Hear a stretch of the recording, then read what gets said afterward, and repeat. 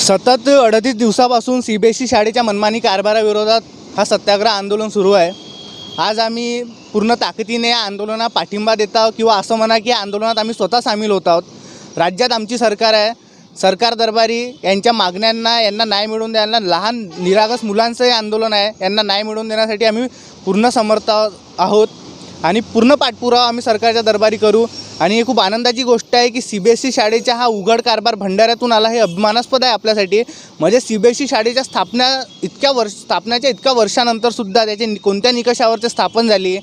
Non profitable आहे की नाही आहे? हे उघड करण्याचं काम यांच्यामार्फत झालेलं आहे.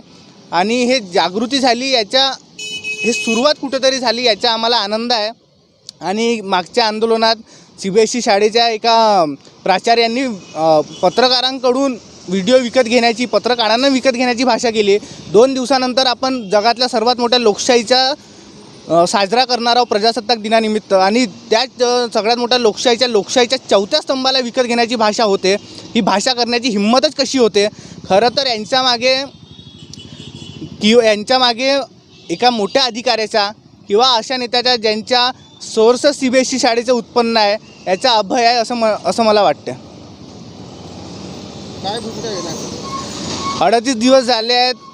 जि ह्या जिल्हा परिषदेच्या समोर आम्ही उभे आहोत. सव्वीस तारखेला इथंच जनता दरबार भरणार आहे. त्याच जनता दरबारात आम्ही पूर्ण ताकदीने आपले प्रश्न मांडण्याचा आणि तो सोडवून घेण्याचा प्रयत्न या ठिकाणी आम्ही करणार आहोत.